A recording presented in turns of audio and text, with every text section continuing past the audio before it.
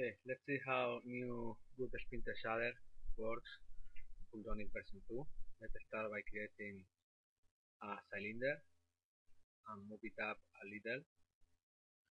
And now let uh, shatter the cylinder. For this open source window, set are about 200. Uh, set the size style to Wood Splinter and select uh, largest axis for cutting the model. Okay and click just click on shade button to start the shading process it's done.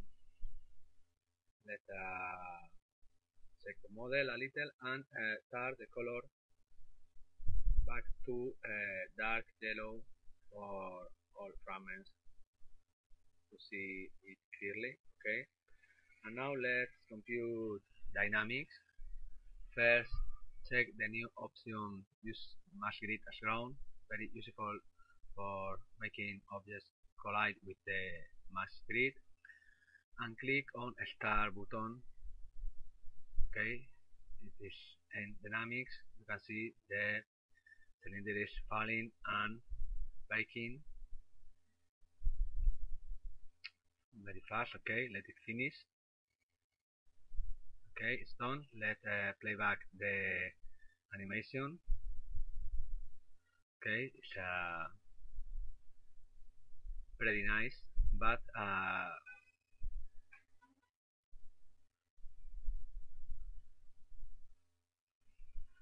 the problem is the fragments are uh, too straight too polygonal.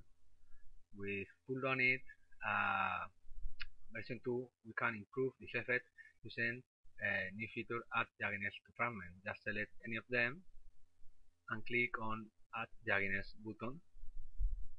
Okay. Now it start back to start frame and when playback the keys again jaggedness has been applied.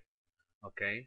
Much better now. You can see all this detail, jaggedness in the interfaces in the edges of the model. Okay, a close view of this.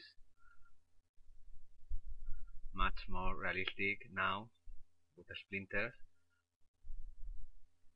And we can even uh, tweak the strength of the jaggedness uh, interactively just uh, remove it completely or uh, increase it as much as we want okay can increase the strength of jaggedness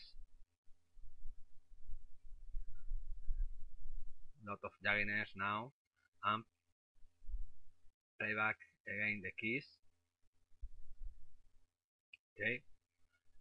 But one about one unit is okay for our wood splinter. Let uh, play back the final result with jaggedness applied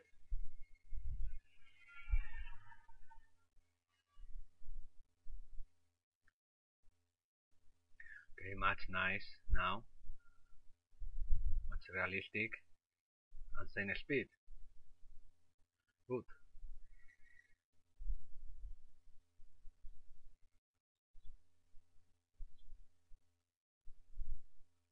Okay this is the end of the tutorial. Uh, thanks for watching. Bye